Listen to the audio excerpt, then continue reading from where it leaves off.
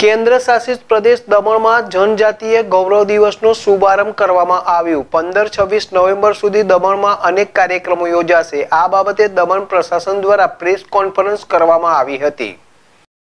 કેન્દ્ર શાસિત પ્રદેશ દમણમાં જનજાતીય ગૌરવ દિવસની ઉજવણીનો ગઈકાલે પ્રારંભ કરવામાં આવ્યો હતો. તે અંતર્ગત આગામી છવ્વીસ નવેમ્બર સુધી દમણમાં અનેક કાર્યક્રમો યોજાશે. આ અંગે દમણ પ્રશાસન દ્વારા પ્રેસ કોન્ફરન્સ યોજવામાં આવી હતી.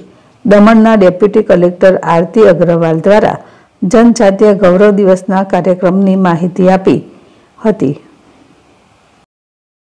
प्रशासक श्री प्रफुल्ल पटेल के नेतृत्व में दमन में भी कई कार्यक्रम हुए हैं जिसमें उल्लेखनीय है बिरसा मुंडा चौक पे ट्राइबल रिप्रेजेंटेटिव्स द्वारा उनकी श्रद्धा से किया गया प्रोग्राम जिसमें ऑनरेबल प्राइम मिनिस्टर का मैसेज स्क्रीन हुआ था और लगभग 500 से अधिक पार्टिसिपेंट्स थे और उसमें उनका हेल्थ चेकअप हुआ एसएचजी के लिए स्टॉल्स लगे और सारी गवर्नमेंट स्कीम्स के बारे में अवेयरनेस जनरेशन के भी स्टॉल्स लगे।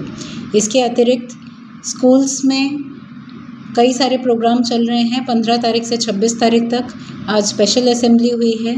आगे आने वाले दिनों में डॉक्यूमेंट्री स्क्रीनिंग होगी सेमिनार्स होंगे क्लासरूम डिस्कशन ऐसे राइटिंग और जिसमें बिरसा, भगवान बिरसा मुंडा के मैसेज को याद किया गया है और उनसे प्रेरणा लेते हुए आगे के कई दिनों में चित्रकला ऐसे competition documentary screening classroom discussions ऐसे कई प्रोग्राम हैं जिससे हम ट्राइबल कल्चर की जीवन शैली को अपनी लाइफ में अपनाने के लिए काफ़ी कुछ सीख